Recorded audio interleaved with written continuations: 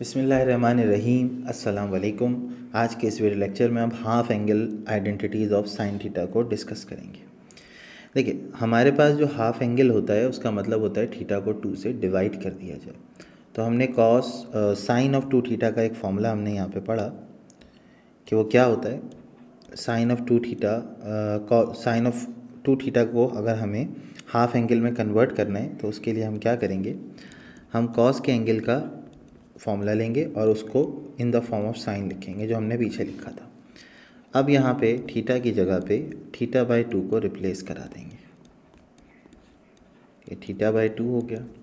ये one minus two sine square theta by two हो गया।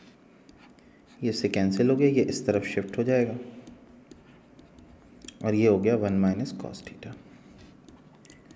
तो sine square theta by two one minus cos theta upon अगर हम दोनों तरफ़ स्क्वायर रूट लेंगे तो हो जाएगा sine square theta upon two और ये हो जाएगा one minus cos theta upon two तो साइन थीटा बाई टू बराबर हो जाएगा one minus cos theta upon two under root ये साइन के हाफ़ एंगल का फॉर्मूला हमारे पास आ गया। अब नेक्स्ट हम क्या करेंगे? अब हम कॉस के लिए काम करेंगे। तो कॉस के लिए भी सेम फार्मूला होगा, लेकिन अप्रोच सेम होगी फार्मूला तो चेंज हो जाएगा। यहाँ पे थीटा की जगह थीटा बाई टू को आप पुट करा देंगे।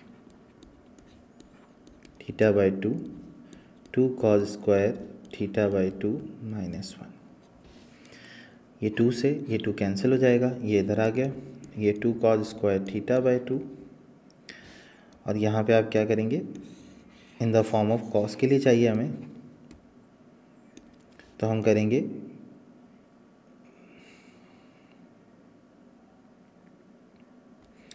कॉस थीटा प्लस वन और ये टू मल्टीप्लाई हो रहा है, इधर आके डिवाइड हो जाएगा। तो स्क्वायर रूट जब दोनों तरफ़ लेंगे आप तो कॉस थीटा बाई टू का फॉर्मूला जो है, वो इस तरीके से आ जाएगा।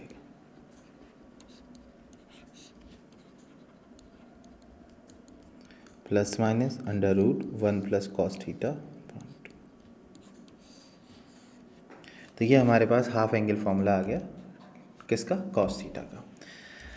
अच्छा अब बच्चों, अब हमें टेन के लिए काम करना है तो हम इन्हीं दोनों फॉर्मूलों का इस्तेमाल करेंगे, और टेन थीटा बाई टू के लिए हम इसको लिख लेंगे sine theta by two divided by cos theta by two तो साइन का formula under root one minus cos theta upon two cos का formula under root one plus cos theta point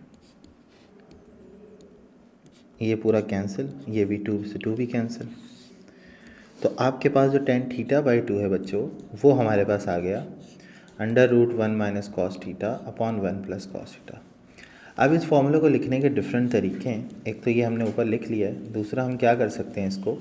rationalise करा दें।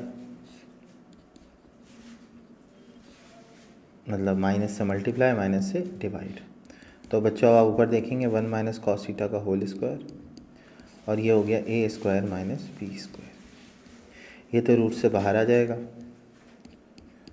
और इसको हम लिख लेंगे साइन स्क्वायर थीटा अब दोनों ही स्क्वायर में हैं तो इसका मतलब हुआ कि one minus cos theta upon में साइन थीटा तो एक फॉर्मूला हमारे पास ये होता है और एक फॉर्मूला आपके पास होता है टेन थीटा बाई टू का, इसी तरह रैशनलाइज करने पे sine theta upon one plus cos theta तो टोटल ये तीन फॉर्मूले आप किसमें पढ़ते हैं? हाफ़ एंगल आइडेंटिटीज़ में पढ़ते हैं। उम्मीद है आपको ये लेक्चर समझ में आया होगा। अब तक की जितनी चीज़ें हमने यहाँ पे की हैं फॉर्मूलों से रिलेटेड अब वो हम 10.3 में इस्तेमाल करेंगे। तो नेक्स्ट वीडियो में इंशाल्लाह 10.3 के हम क्वेश्चंस को करेंगे। जजाकल्ला थैंक यू हाँ भाई वीडियो देख ली। नोट्स बना लिए। अब इस टॉपिक और बाकी टॉपिक्स पास पेपर्स इन सब चीज़ों के एमसीक्यूज के लिए फॉरन छा जाओ ऐप डाउनलोड करो। जल्दी करो और छा जाओ।